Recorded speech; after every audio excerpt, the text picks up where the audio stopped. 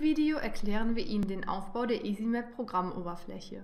Das Video hilft Ihnen, sich in der Software besser zurechtzufinden und die verwendeten Begriffe in den folgenden Videos leichter einordnen zu können.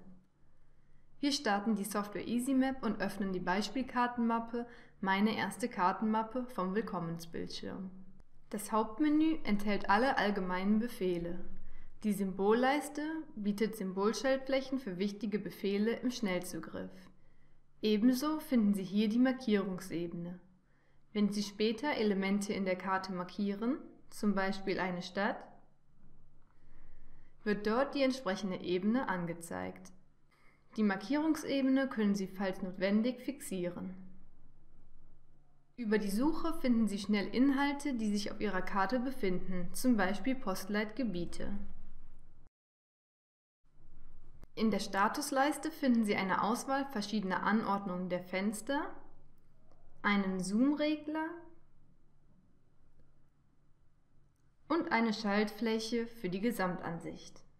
In der Standardansicht befinden sich links die Steuerungsfenster, rechts das Datenfenster und in der Mitte das Kartenfenster.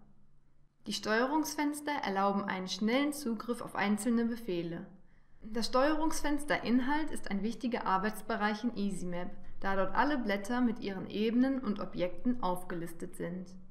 Mit Rechtsklick können Sie von hier aus das Kontextmenü einer Ebene öffnen und so beispielsweise die Eigenschaften der Ebene aufrufen und anpassen. Sie können zwischen den einzelnen Steuerungsfenstern durch Klick auf den Reiter beliebig wechseln. Die Steuerungsfenster Kartengrundlagen, Objekte und Daten werden Sie in den nächsten Videos noch näher kennenlernen. Im Datenfenster auf der rechten Seite werden die Tabellen angezeigt. Wie Sie es aus anderen Tabellenkalkulationsprogrammen kennen, können Sie über den Spaltenkopf filtern und Sortierungen vornehmen. Weitere Tabellenfunktionen erreichen Sie über die Symbolleiste im Datenfenster.